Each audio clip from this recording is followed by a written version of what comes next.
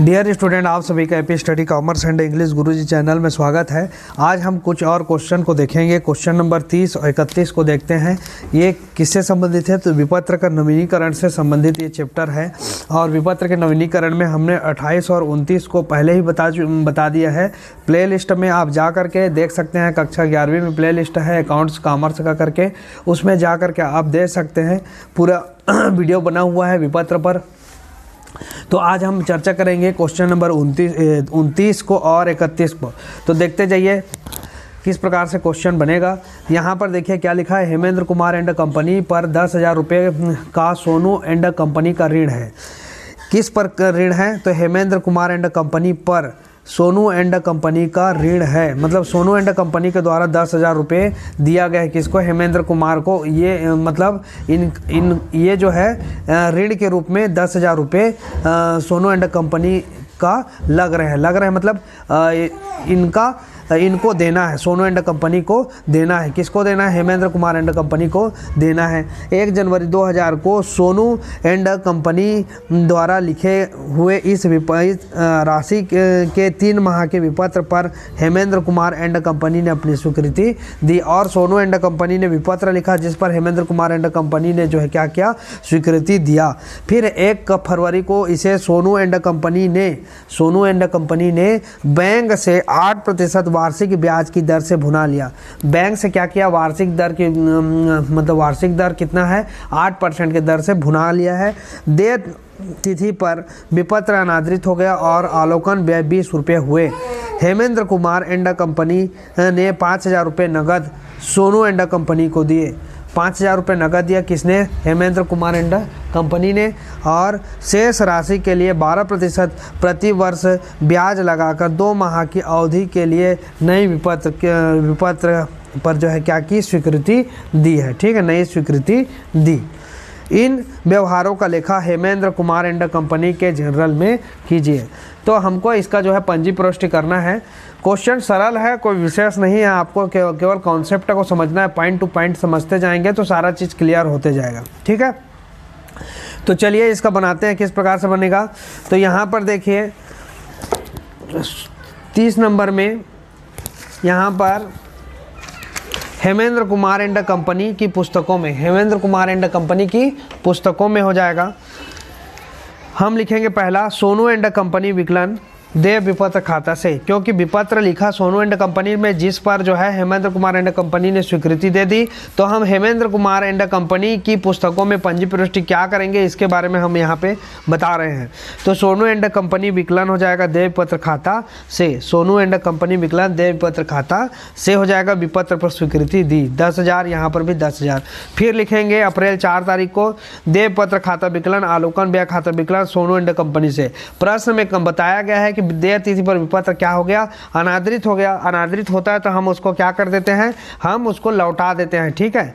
उसको लौटा देते हैं। तो हेमेंद्र कुमार को हमने लौटाया। तो हेमेंद्र कुमार एंड कंपनी ने अपने पुस्तकों में एंट्री किया देव पत्र खाता विकलन और आलोकन व्यय खाता विकलन सोनू एंड कंपनी से। सोनू एंड कंपनी से वापस आया। इसलिए वो उन्होंने लिखा कि सोनू एंड कंपनी से करके लिखा है, ठीक है?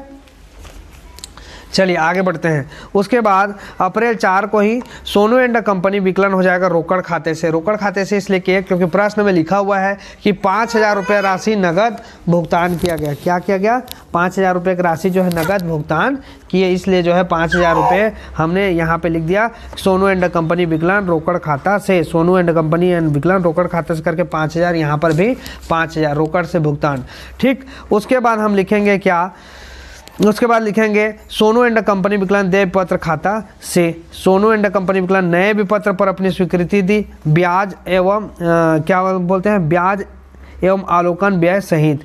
ब्याज एवं आलोकन व्यय सहित स्वीकृति। तो हमने जो है पाँच हज़ार और दस देखिए दस हज़ार का विपत्र तो दस हज़ार के विपत्र में से जब विपत्र अनादृत हो गया तो आलोकन व्यय का सोनू एंड कंपनी ने दिया है। तो दस हज़ार बीस रुपये टोटल था। उसमें से पाँच हज़ार रुपया हेमेंद्र एंड कंपनी ने भुगतान कर दिया नगद में। तो हम लिख दिए सोनू एंड कंपनी विकलन रोकड़ खाते से करके। तो पाँच हज़ार तो चला गया विपत्र का दस हज़ार में से। अब बचा कितना? पाँच हज़ार और बचा। जो अनादरित हो गया है।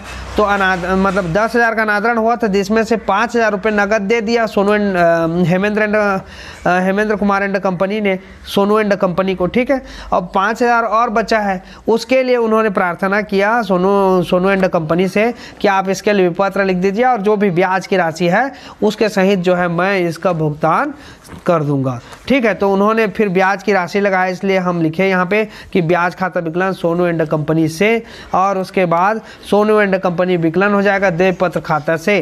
तो यहाँ पर सौ रुपये ब्याज का हो गया और बीस रुपये जो है आलोकन व्यय का, इसको भी जोड़ दिया हमने और जो है पाँच हज़ार रुपये जो राशि बचा हुआ है उसको। तो तीनों को जोड़े तो हमारा पाँच हज़ार एक सौ बीस रुपये, बीस रुपया अवलोकन व्यय का, सौ रुपये ब्याज का और पाँच हज़ार रुपये जो बचा हुआ है उसका। तो पाँच हज़ार एक सौ बीस रुपये तो सोनो एंड कंपनी विकलन हो जाएगा देव पत्र खाते से। नए विपत्र पर अपनी स्वीकृति दी। ब्याज और अवलोकन व्यय सहित करके यहाँ पे। अब ब्याज की जब गणना करेंगे तो इस प्रकार से करेंगे आपको आपको करना है पाँच हज़ार गुड़ी बारह क्योंकि बारह महीने माह सॉरी ये क्या बोलते हैं, बारह प्रतिशत की दर से है, ब्याज की राशि कितनी है बारह प्रतिशत प्रतिवर्ष है, दर है, ब्याज का दर, और दो माह के लिए है तो ये दो माह गुणित कर देंगे हम बटे कर देंगे सौ गुणित बारह, बराबर आप काट छाट करेंगे तो कितना आ जाएगा, सौ रुपये आएगा। तो इस प्रकार से जो है, इस प्रश्न को, तीस नंबर का प्रश्न को आपको हल करना है, ठीक है? इसके बाद देखिए क्वेश्चन और देख लेते हैं। यहाँ पर देखिए, एक मार्च 2000 को शेखर ने वासुदेव को पाँच हज़ार रुपये का माल बेचा। किसने? शेखर ने बेचा। किसको बेचा? वासुदेव को बेचा। ठीक है? तो वासुदेव क्या हो गया? क्रेता हो गया और शेखर विक्रेता। अब विपत्र की भाषा में हम इसको बोलेंगे क्या? लेखक। शेखर क्या है? लेखक है और वासुदेव क्या है? स्वीकर्ता है। ठीक है? वासुदेव ने तीन हज़ार रुपये नगद देकर शेष राशि के लिए एक विपत्र तीन माह की अवधि का स्वीकार किया। वासुदेव ने पाँच हज़ार का माल खरीदा जिसमें से तीन हज़ार रुपये उसने नगद दिया। ठीक है? और जो दो हज़ार रुपये बचा उसका विपत्र पत्र लिखने के लिए कहा और उस पर उसमें अपनी स्वीकृति दी। शेखर इस विपत्र को अपने ऋण के भुगतान में विनय को बेचान कर देता है। किसको बेचान कर दिया? शेखर ने जो विपत्र प्राप्त हुआ वासुदेव से, उस विपत्र को विनय को दे दिया। बेचान कर देना मतलब विपत्र को हस्तांतरण कर देना, ट्रांसफ़र कर देना। तो विनय को दे दिया। दे तिथि पर विनय दे तिथि पर विपत्र अनादरित हो गया। विपत्र क्या हो गया? अनादरित मतलब भुगतान करने से मना कर दिया। सामने वाले ने भुगतान नहीं किया। तथा विनय ने पंद्रह रुपये निकराई के चुकाए। वासुदेव ने पाँच प्रतिशत वार्षिक ब्याज व निकराई व्यय के नगद चुकाकर, किसने? वासुदेव ने पाँच प्रतिशत वार्षिक ब्याज और निकराई व्यय के नगद चुकाकर एक नया विपत्र लिखने की प्रार्थना की। शेखर ने इस प्रस्ताव को स्वीकृति का नया विपत्र लिख दिया। तीन माह के नए इस नए विपत्र पर वासुदेव ने अपनी स्वीकृति दे दी। इस विपत्र का भुगतान हो जाता है। शेखर व वासुदेव की पुस्तकों में खाते खोलिए। तो हमको शेखर वासुदेव दोनों के में कहा है तो किस प्रकार से पंजी पुष्टि होगी, इसको हम बारी बारी से एक एक करके आप समझते जाते हैं। ठीक है? तो चलिए, यहाँ पर देखिए। क्वेश्चन नंबर इकतीस। क्वेश्चन नंबर इकतीस का इस प्रकार से बनेगा। यहाँ पर हमने लिख दिया, शेखर की बहियों में पंजी प्रविष्टि। तो पहला तो हम लिखेंगे, वासुदेव को उधार माल बेचे हैं तो वासुदेव का खाता विकलन हो जाएगा, विक्रय खाता से। वासुदेव का खाता विकलन, विक्रय खाता से होगा। ठीक है, वासुदेव का खाता विकलन, विक्रय खाता से। माल उधार बेचा। फिर उसके बाद दूसरा जो होगा पंजी प्रोष्टि, वो होगा रोकड़ खाता विकलन प्राप्य पत्र खाता विकलन वासुदेव से। क्योंकि आधा जो तीन हज़ार रुपया था, उसको तो नगद दिया किसने? वासुदेव ने। और दो हज़ार रुपये के लिए विपत्र पर अपनी स्वीकृति दी। इसलिए हम लिख देंगे रोकड़ खाता विकलन प्राप्य पत्र खाता विकलन वासुदेव से विपत्र पर अपनी स्वीकृति एवं नगद प्राप्त किया। ठीक है, हो गया। अब शेखर ने क्या किया? उस विपत्र को, जो दो हज़ार रुपये का जो विपत्र था, उसको विनय को दे दिया। तो विनय विकलन हो गया, प्राप्य पत्र खाता से विनय विकलन क्या हो जाएगा? प्राप्य पत्र खाता से विपत्र का बेचान करने पर, किसको करने पर? विनय को करने पर। ठीक, उसके बाद वासुदेव विकलन विनय से विपत्र अनादृत हो गया है। और विपत्र अनादृत हो गया है तो उसको वापस आएगा। ठीक है, कि, किसके किसके पास आएगा? शेखर के पास। और शेखर उसको किसको दे देगा? वासुदेव को दे देगा। तो शेखर अपनी पुस्तकों में एंट्री करता है। डायरेक्ट वासुदेव को दिखाता है कि वासुदेव विकलन विनय से। विनय से जो विपत्र आया था, उसको वासुदेव को हमने दे दिया। तो इस प्रकार से पंजीपृष्टि उसकी होगी। तो वासुदेव विकलन हो जाएगा। विनय से विपत्र का नादरण एवं विपत्र का नादरण एवं आलोकन व्यय विनय द्वारा भुगतान करने पर। तो पंद्रह रुपये विनय ने क्या किया? आलोकन व्यय का चुकाया है तो पंद्रह रुपया उसका जोड़ दिया और दो हज़ार रुपये का भी पत्र था तो दो हज़ार पंद्रह रुपया हो गया। ठीक है कंफ्यूज नहीं होना है। यहाँ पर आलोकन व्यय क्यों क्यों नहीं लिखे हैं?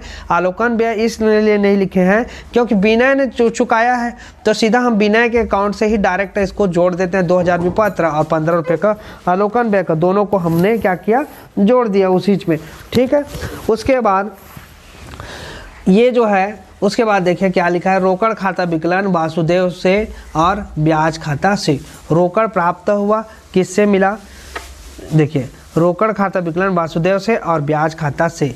तो जो निकराई ब्याज था, पन, पंद्रह रुपये का जो निकराई ब्याज था और जो ब्याज मतलब नया विपत्र जब लिखने के लिए वासुदेव किसको, शेखर को प्रार्थना करता है और शेखर जो है, उसके लिए तैयार हो जाता है तो उसमें वो एक निश्चित दर से ब्याज लूँगा करके वो, वहाँ पर वो ब्याज का लगाता है। तो ब्याज की राशि का जो है भुगतान जो है, तुरंत वासुदेव के द्वारा कर दिया जाता है। तो हम यहाँ पर लिखे क्या? रोकड़ खाता विकलन वासुदेव से और ब्याज खाता से। तो चालीस रुपया किसका? पंद्रह रुपया तो हमारा किसका था? नोटिंग चार्जेस का था, आलोकन व्यय का और ब्याज का कितना? पच्चीस रुपये। तो दोनों को मिला दिया तो टोटल कितना हो गया? चालीस रुपये हो गया। दूध वाला फिर उसके बाद प्राप्त पत्र खाता विकलन वासुदेव से नए विपत्र पर स्वीकृति मिली। नया विपत्र लिखा 2000 का तो हमने यहाँ पे फिर लिख दिया प्राप्त पत्र खाता विकलन वासुदेव से। और यहाँ पे सितंबर को रोकड़ खाता विकलन प्राप्य पत्र खाता से रोकड़ खाता विकलन हो जाएगा। प्राप्त पत्र खाता से दे तिथि पर विपत्र का भुगतान प्राप्त होने पर हम लिख देंगे सितंबर में हुआ भुगतान तो रोकड़ खाता विकलन प्राप्त पत्र खाता से 2000 2000 इस पर जो है विपत्र पर अपनी स्वीकृति मिल गई। ठीक है? तो इस इस प्रकार से जो है प्रश्नों को आपको हल करते जाना है कंटिन्यू ठीक है? ये तो हो गया आपके शेखर की बहियों में। ठीक इसी प्रकार जो पंजी पृष्टि होगी, वो होगी वासुदेव की भी बहियों में तो उसको आप अपने से बना लीजिएगा। ठीक है? तो इस प्रकार से जो प्रश्न है, तीस नंबर का और इकतीस नंबर का प्रश्न है, इस प्रकार से आपको हल करना है। नेक्स्ट वीडियो में हम जो है बत्तीस नंबर और तैंतीस नंबर के प्रश्नों को हल करेंगे। वो भी एक इंपॉर्टेंट क्वेश्चन है। जब अनुग्रह विपत्र केवल लेखक की सहायतार्थ लिखा जाता है और दूसरा जो लिखा है, जब अनुग्रह विपत्र लेखक एवं स्वीकर्ता दोनों की सहायता के लिए जो है लिखा जाता है। उस स्थिति में पंजी पृष्टि क्या होगी, उसके बारे में नेक्स्ट वीडियो में देखेंगे। चैनल पर अगर नए हैं तो चैनल को सब्सक्राइब कर दीजिए बेल आइकन को प्रेस कर दीजिए। और देखिए, अधिक से अधिक वीडियो को जो है अपने जितने भी कक्षा ग्यारहवीं और बारहवीं के स्टूडेंट हैं कॉमर्स के, वो अपने स्कूल के ग्रुप में, अपने कॉमर्स के ग्रुप में अधिक से अधिक शेयर करें ताकि जो है सबको इसका लाभ मिल सके और आपको घर बैठे निःशुल्क जो है कॉमर्स की पढ़ाई कक्षा ग्यारहवीं और बारहवीं के अकाउंट्स की पढ़ाई करने का अवसर प्राप्त हो सके। वीडियो को देखने के लिए आप सभी का बहुत बहुत धन्यवाद।